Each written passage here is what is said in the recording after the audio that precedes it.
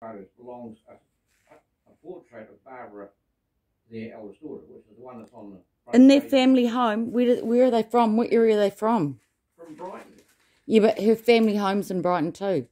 That's where her parents are. Yeah, what street, what area? I don't know. It, it, it might it might say it in a minute. She's getting the ball beaten back. Uh, she's in her late teens, early twenties, and wearing a blue and white polar fleece jacket, a 90s style black bucket hat, and earrings. Her blue eyes are fixed to the camera, and she has a wide smile on her face, which is that one there. We can see the picture. Why are they describing it? We blind? Three blind mice. It's hard to rationalise that the seemingly happy young woman in the photo is the same woman person who sat with blackened toes poking through holes in her socks, surrounded by alcohol boxes, cigarette butts, and other rubbish in a shop front on the fringe of a supermarket car park, which is the one at the bottom of the page here.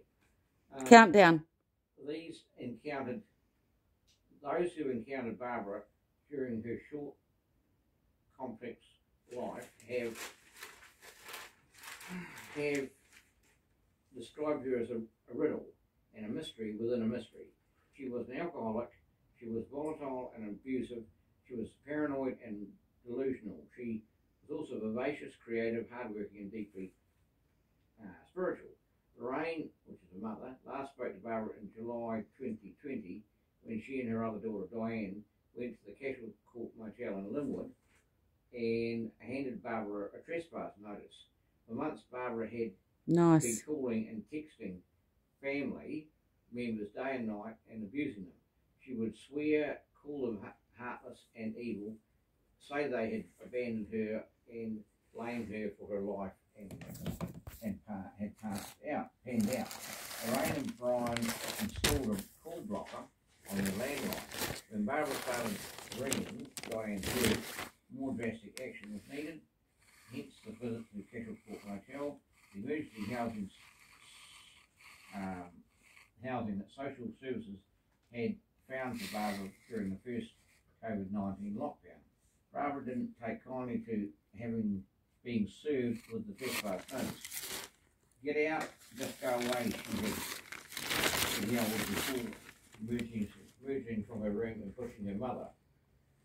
It breaks my heart to think she was the, that was the last time I talked to her, Ray says.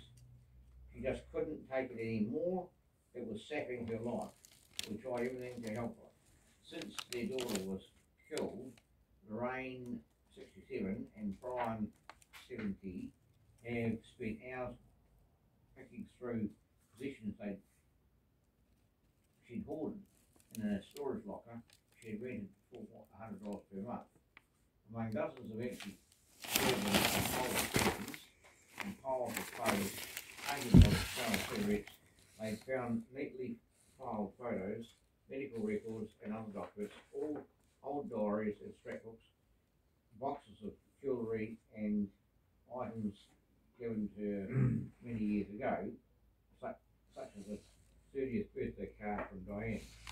The process has stirred memories and made them reflect on whether there's anything they could have done to change. Blah, blah, blah. So it goes on to another page. Wow. I'll take that and I'll take this one too. You want the coffee? Love it. Over there. All depends what you Now, this one here is about the thunderstorm. How did you find it? I got um, badly damaged. What happened? Uh, well, the storage said to come in tomorrow.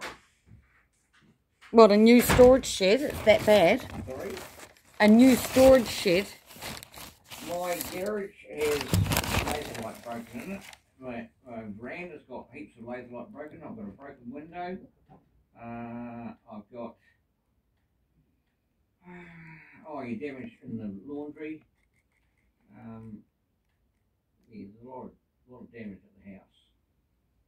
See, I've got one whole wall, two metres by two metres, that's made out of um, greenhouse plastic.